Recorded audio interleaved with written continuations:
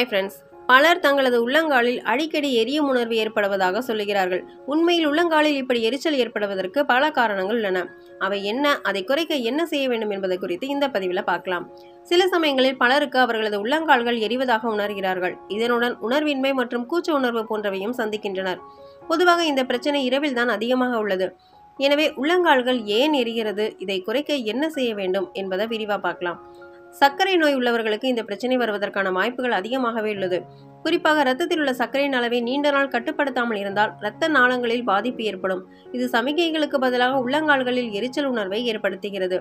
அடுத்ததா கால்களில் எரியும் உணர்வு ஏற்படுவதற்கான காரணங்களில் ஒன்று அத்தியாவசிய ஊட்டச்சத்துக்கள் இல்லாததுதான். தற்போது பலர் vitamin B twelve vitamin B six vitamin B nine அதாவது ஃபோலேட் குறைபாட்டால் பாதிக்கப்படுகின்றனர். இந்த விட்டமின்களின் குறைபாடுகளால் தான் உள்ளங்காலில் எரிச்சல் ஏற்படுகிறது.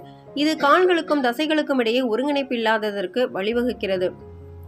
அடுத்துதான் ஆண்களை விட பெண்களுக்குத்தான் இரத்த சொகை ஏற்படும் வாய்ப்புகள் அதிகமாகவே உள்ளது. உடலில் இரத்த சிவப்பணுக்கள் குறைந்தாலோ அல்லது விட்டமின் பி குறைபாட்டாலோ இரத்த சொகை பிரச்சனை ஏற்படும்.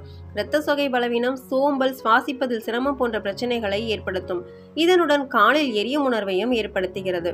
அடுத்ததான் தைராய்டு ஹார்மோன்களின் சமநிலையின்மை நரம்பு சேதத்தை ஏற்படுத்தும். அது மட்டுமின்றி தைராய்டு சுரப்பின் செயலற்ற தன்மை பாதங்களில் எரிச்சல் உணர்வையும் ஏற்படுத்தும் என்று நிபுணர்கள் கூறுகின்றனர்.